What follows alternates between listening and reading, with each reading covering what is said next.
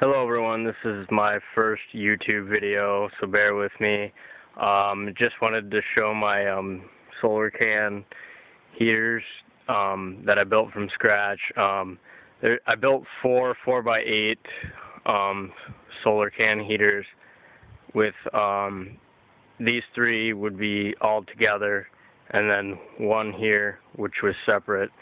Over here we have a one foot in diameter duct that goes in the the one side of the house um, with the damper on it, and then the air would travel this way, and then there's a damper and a fan on this side that will um, open up when it gets to about 80 or 90 degrees during the winter. And then this one as well has a separate system.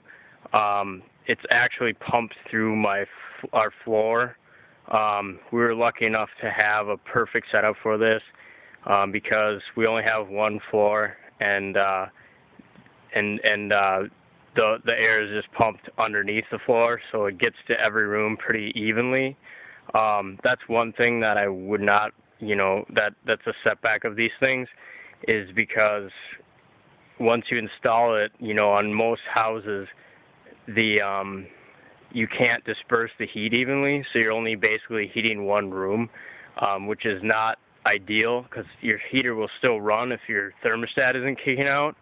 So it's almost like, you know, you're getting one room super hot and then the rest, you know, stay normal. So you're not really, unless you can somehow figure out how to to tie your um, your thermo or um, thermostat to it, then you know, it it'll just your heater will still run inside your house.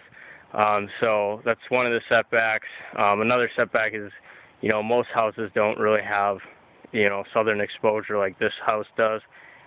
Um, but even on this house, you know, this has paid for itself.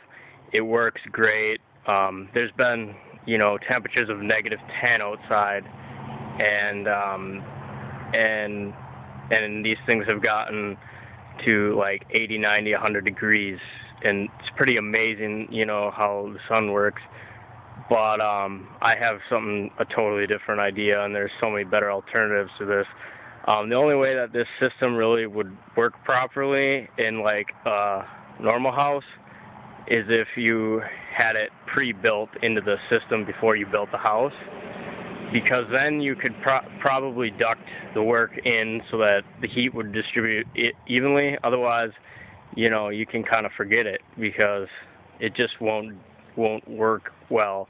The other thing that the other setback is is if you don't have this set up properly, you will get some heat loss during the nights because those cans get cold and they do the exact opposite during and, and they'll they'll get freezing cold and and if it travels through your duct you know it's going to go back into your house. So your heater might actually have to make up for that heat loss um, during the night so you might not be gaining anything.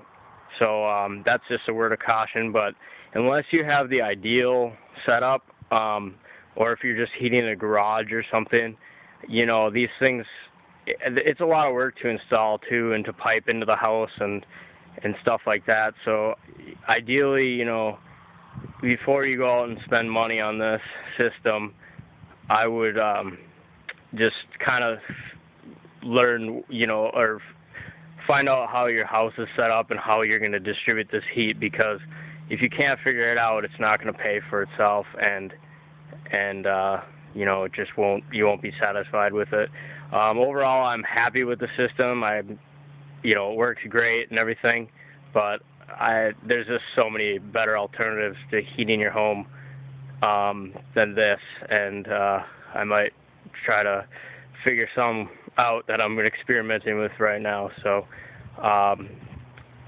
anyways, it's a good system, but not ideal for everyone. Just be cautious. So, anyways, take care.